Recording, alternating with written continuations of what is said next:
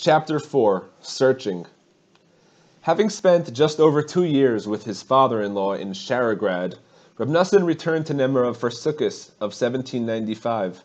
He was given a separate room in his parents' house, where he lived with his young wife.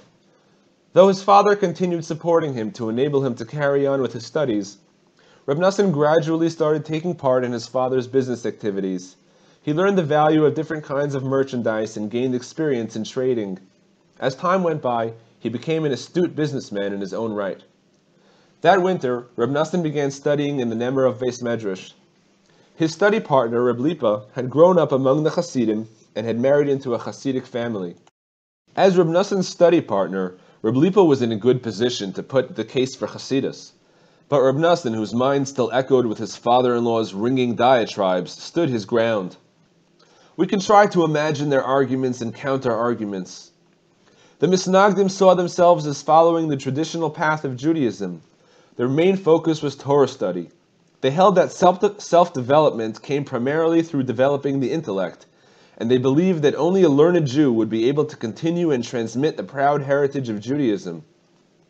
But the Hasidim countered that, as a result of the Misnagdim's intellectual approach, which was only for the elite, the bulk of the people were left with a superficial perception of the Torah. This left them vulnerable to the attacks of the Maskilim. Moreover, the Misnagid's exclusive interest in Torah study meant that his devotions tended to be dry and lifeless.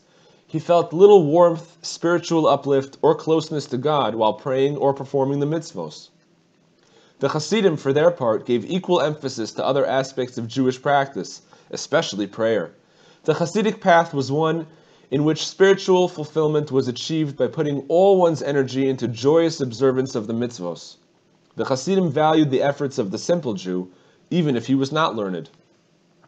However, the Misnagdim took the view that Hasidus fostered a neglect of the details of Torah law. For example, there were Hasidim who put so much emphasis on their state of mind when praying that if they didn't feel ready to pray properly in the morning, they would delay their prayers until they had prepared themselves. As a result, they would pray after their permitted time of the morning prayers had passed, in clear violation of the Shulchan Aruch. Another contested point was the Hasidic leaning towards open discussion of the Kabbalah. This was much feared due to Shabtai Tzvi's and Yaakov Frank's use of Kabbalistic teachings to mislead so many others. Again and again, Reb Lipa and others argued the merits of Hasidism with Reb Noson, but still he held aloof, adhering to the viewpoint of his father and distinguished father-in-law, both of whom held him in high esteem before he became a chassid. They would even argue over which of them he should stay with. A full year passed before Reb Lipa's words began to penetrate Reb Noson. Reb Lipa claimed that the Hasidim had a deep fear of heaven. Having visited some of the leading tzaddikim of the time, he was able to bring personal testimony about their awesome spiritual levels and the sincerity of their devotions. And with this argument, Reb Lipa touched Reb Noson's sore spot. If God is good, why do we not feel this goodness? Since attachment to God means being attached to good, one should be filled with delight when serving God. As great a masmid as Reb Noson was, and no matter how much he excelled in his studies, he was fully aware of his lack of inspiration in both his studies and prayers. He acknowledged, at least to himself, that he was unable to concentrate on his prayers. And where were his devotions leading him? The Mishnah in Avos teaches, better an hour of repentance and good deeds in this world than all of the life of the world to come. And better an hour of the world to come than all the life of this world. This Mishnah clearly teaches that one can attain a feeling in one's devotions in this world comparable to and even greater than all of the world to come. This obviously troubled Reb Noson. Why don't I feel the joy of devotion? Reb Noson asked himself. After all, there are great tzaddikim who feel it as is evident in their devotions, why can't I? Reb Noson knew he must search for the right way to serve God. He would use whatever means he felt were necessary to help him discover the truth of Judaism and attain genuine spiritual devotion, even if it meant taking a stand that would upset his parents and in-laws. As Reb Noson contemplated the merits of Chasidus, a man from Anapoli passed through Nemirov. Invited to a meal, the man washed his hands for bread and recited the appropriate blessings with deep concentration and enthusiasm. Reb Noson was very impressed by the man's devotions and asked him if he knew Reb Zusha. Of course I know him, the man answered. I see him very often. Every bit of enthusiasm in my devotions comes from him. The chassid then began to tell of Reb Zusha's fervor. When it's time for chatzos, Reb Zusha throws himself out of bed and cries, Zusha, Zusha, get up already. The rest you can sleep in your grave. The chassid then went on to describe Reb Zusha's other devotions. The man's enthusiasm in his devotions and his reports of Reb Zusha's awesome fervor were convincing evidence of the vitality and viability of Chasidus. Reb Noson saw that the Hasidim were truly God-fearing and began traveling to the followers of the Baal Shem Tov. The next five years, from 1797 to 1802, were spent in many a Hasidic Rebbe's court. Reb Noson visited the followers of the holy Maggid of Mezerich who lived in the nearby Vinitsa area, among them were Reb Zusha of Anapoli, Reb Levi Yitzchak of Berdichev, Reb Baruch of Mezhebej, Reb Gedalia of Linitz, Reb Shalom of Probisht, Reb Avram Dov of Chmelnik, and Reb Mordechai of Kremenitz, among others. Reb Noson began to learn how to channel his energies into his devotions, and his, de- and his desire to serve God like the great tzaddikim increased. Having tasted the warmth of Chasidus, Reb Noson remarked, the difference between a chassid and a misnagid is like that between a warm and a cold knish. Both have the same ingredients, yet the cold one doesn't taste nearly as good as the warm one. Reb Noson began to feel an improvement in himself. A new vitality came into his prayers, his studies, and indeed all his devotions. Yet he still felt that he was not receiving proper direction. He was unable to attain full concentration during the prayers and he was still subject to repeated distractions when trying to study.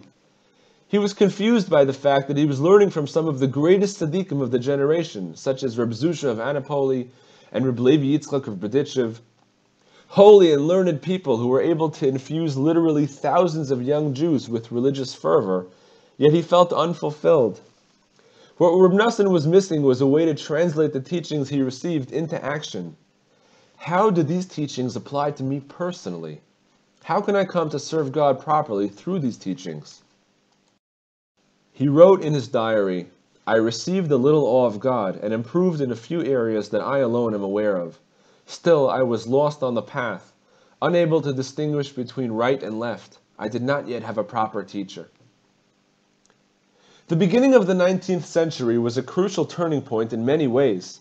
The American and French revolutions heralded a new era of fledgling democracies the incipient Industrial Revolution was to alter the face of human society. Within the Jewish world, the Russian decrees and the growing Haskalah movement were to bring devastating changes. At this fateful moment, 40 years after the Baal Shem Tov passed away, the movement he had founded to revitalize Judaism was beginning to lose its spark. In earlier days, Hasidim would gather to speak words of Torah and discuss religious devotion. At the gathering, they would drink a little schnapps. But as time passed, the schnapps became the focal point, while talk about serving God tended to become secondary.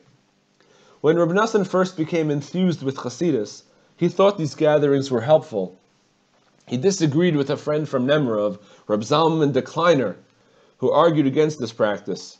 Before long, however, Reb Noson began to think differently. It was during this period that he was chosen to go out to buy bagels for a Melave Malka with the followers of Reb Levi Yitzchak of Berdichev. His dejection over his ups and downs, even after becoming a chassid, made his childhood question about the purpose of his life more bitter than ever. Was this what I was created for, to buy bagels? Reb Noson was at a loss. On the one hand, he seemed to have everything. He was a young man just past 20 from one of the most prominent and wealthy families in town.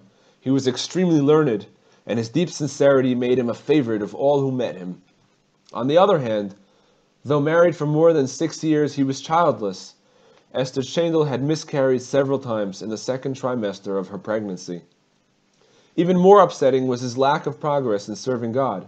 He was very envious of some of the elderly Hasidim in Nemirov, in whom he saw true sincerity. He kept searching for someone who would instill in him that same love and devotion to God. No matter how hard he tried to climb the ladder, he still kept on falling down. A further twist to his predicament was the fact that his family was very upset with him. The mere mention of Hasidus was enough to arouse Rabbi David Zvi Orbach's wrath. let alone the thought that his son-in-law, whom he saw as a diligent Torah student with a brilliant future ahead of him, was embarking on this path. During the years Reb Noson was becoming interested in Hasidus, he was hesitant, even afraid, to travel to Rabbi David Zvi. His friends advised him not to go so as to avoid the dreadful reception that would certainly be waiting for him.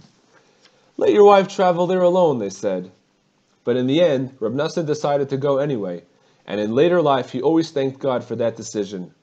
Had he not gone, it is very likely that a rift in his marriage would have developed, leading to divorce. One winter, Reb Noson was going to stay with his father-in-law. A friend asked him to deliver a letter to Rabbi Mordechai of Kremenetz, which was near Sharograd, where Rabbi David Tzvi was chief rabbi. Reb Noson was very fearful of his father-in-law's anger if he found out that he had visited Rabbi Mordechai, and therefore did not go to him until Pesach, a few months after his arrival. Reb Mordechai wondered why the letter had been delivered so late. With his father, his father-in-law, and even his wife against him, Reb Noson swayed back and forth. His inner frustration gave him the push he needed to visit the tzaddikim, but the lack of appreciable progress in his devotions caused his resolve to falter, and he stopped short of committing himself as a devoted chassid to any of the leading tzaddikim. It is easy to understand why Reb Noson did not make the journey to Rabbi Nachman at this stage, even though the latter's reputation had already spread throughout the Ukraine. At this time, Rabbi Nachman was still living in Zlatopolia, a journey of hundreds of miles on horse-drawn wagons. Why should Reb Noson risk further opposition from his family when, based on his experiences to date, the hope of salvation was marginal? Another factor was that in 1800 the Shpola Zayda began a relentless campaign against Rabbi Nachman, causing a shroud of mystery to descend over the Rebbe's true identity.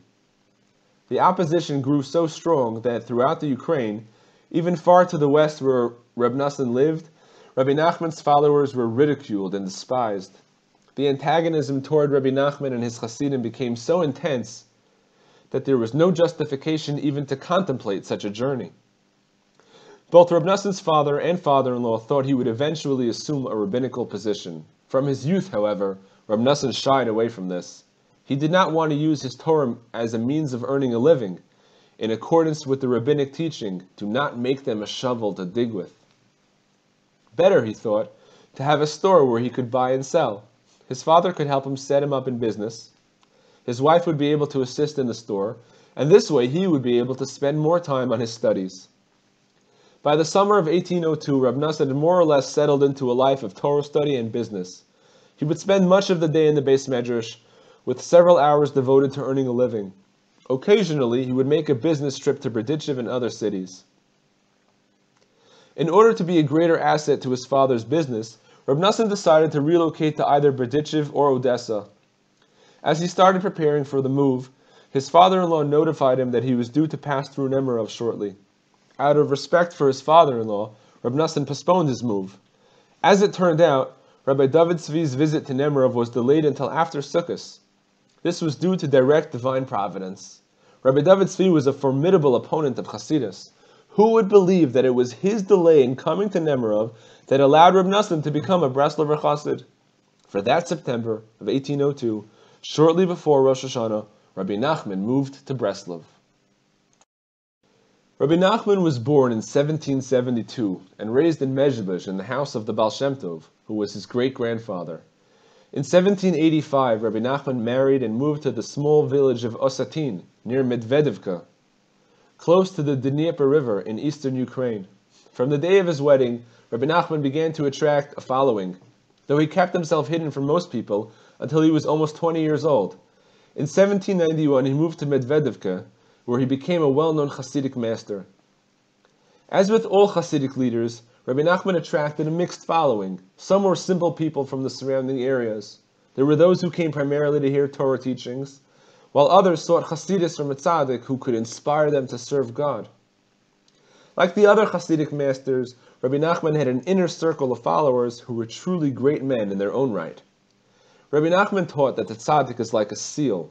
It is impossible to read the inscriptions on a seal because they are in reverse. Only when they are imprinted on wax can one make out the letters and designs on the seal.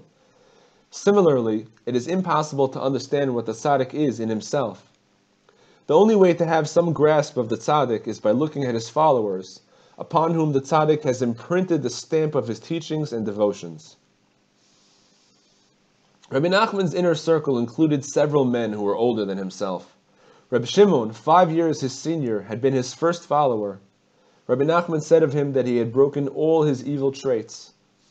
Rabbi Yudel, already middle-aged, was deeply versed in the Kabbalah. Of Reb Shmuel Isaac it was said that the Rebbe led him on the blade of a sword, so sharp and intense were his devotions. Rabbi Kusil, a disciple of the Mezritcher Magid, was himself a Magid in the Ukraine, with no less than 84 villages and towns under his authority. Rabbi Kusil was around 70 years old when he became a follower of the Rebbe. His son-in-law Rabbi Yitzchak and his follower Rabbi Yitzchak Isaac were outstanding scholars and practiced their devotions with the greatest intensity. Another of Rabbi Nachman's leading followers, Rabbi Aaron, who had been appointed Rav of Cherson while still in his teens, was an outstanding halachist. When he later arrived to take up the position of Rav in Breslov, Rabbi Nachman said, Not only do we have to thank him for coming, we have to thank even the horses that brought him. Rabbi Avram Petterberger was a wealthy, highly intelligent writer. It was he who wrote down a number of the Rebbe's lessons given in Medvedevka. Reb Ber was a young follower who influenced Reb Yudel and Reb Shmuel Isaac to travel to the Rebbe. He always gave 20% of his income to charity and said, With my Chomish, my fifth, I have nothing to fear before the heavenly tribunal. In 1798, Rabbi Nachman made his pilgrimage to the Holy Land, returning to Medvedevka in the early summer of 1799. The following year, without any prior notice, he moved to Zlatopolia. It was there that he began to face opposition. One of the chazanim in the town was upset that the Rebbe did not appreciate his cantorial prowess. The Rebbe said that the cantor sang for his wife, to impress her. The cantor took revenge by slandering the Rebbe to Reb Aryeh Leib, the Zaydi of Shpola, who had long been friendly to him. From then on, the Zayda began a relentless campaign to persecute Rabbi Nachman and the Breslover Hasidim. Having once lived in Zlatopolia, the Zaydi was not without influence. He came to the town and turned all the residents against the Rebbe. Not content with this, the Zaydi tried to incite other Hasidic leaders against Rabbi Nachman, calling on them to put him in Cherem, this was strongly opposed by the leading Hasidic figures, including Rabbi Levi Yitzchak of Berdichev, Rabbi Gedalia of Linitz, Rabbi Baruch of Mezhebizh, and others, all of whom wrote to Rabbi Nachman supporting and encouraging him. When the opposition from the Shpola Zayda became unbearable, the Rebbe went to his uncle, Rabbi Baruch, asking for a place where he could live quietly without opposition. Rabbi Baruch suggested Breslov and arranged with the leaders of the community of the town, Moshe Chenkis, Avram Pius, and Reb Mordechai Rosenstadt, that Rabbi Nachman be accepted there. They undertook to provide the Rebbe with his livelihood, even giving him money for moving expenses, and later became very friendly to the Rebbe. Rabbi Nachman arrived in Breslov on Tuesday, the 10th of Elul, September 7th, 1802. He said to Rabbi Yudel, I see a soul in the Ukraine near Breslov, referring to Reb Noson, and went on to speak about the greatness of this soul. Tuesday was market day in Breslov, when people from the surrounding towns and villages would come to buy and sell. People who came there from Nemirov returned home with reports of Rabbi Nachman's arrival. During the week, the Rebbe became known as one who rejects the schnapps gatherings. He had said, I despise their self-made holidays. The reports spoke of how Rabbi Nachman talked only about Torah and Tefillah, prayer, and required his followers to confess to him. Because of this, his followers at that time were known as Vidoinikers, confessors. Someone in Nemirov called Valchi Nisanels made fun of the Breslover Hasidim because of their confessing. But Reb Naftali, who had been a very close friend of Reb Noson from early childhood and was also searching for the proper path, said to him, This is what you ridicule? This is exactly what I'm looking for. There was a folk saying, a pitkil agita yid, which means for a minimal fee one can see a good Jew, a tzaddik. Breslov was only a few miles from Nemirov, and Reb Noson thought that now, with Rabbi Nachman so close by, he would be able to travel to him, and perhaps at last find a mentor, one who would help him discover himself amidst his sea of internal turbulence. Reb Lipa spent the following Shabbos, the 17th of September, in Breslov with Rabbi Nachman. Returning to Nemirov on Saturday night for the first Slichos, Rosh Hashanah was just over a week away. From the vigor and intensity of Reb Lipa's prayers, Reb Noson and Reb Naftali could see how inspired he had been by his visit to the Rebbe, despite the fact that he had been practicing Hasidic customs and devotions for so many years. What especially impressed Reb Noson and Reb Naftali was that in the Anenu prayer toward the end of Slichos, when most people tend to hurry through the lengthy petitions, Reb Lipa said every word with feeling.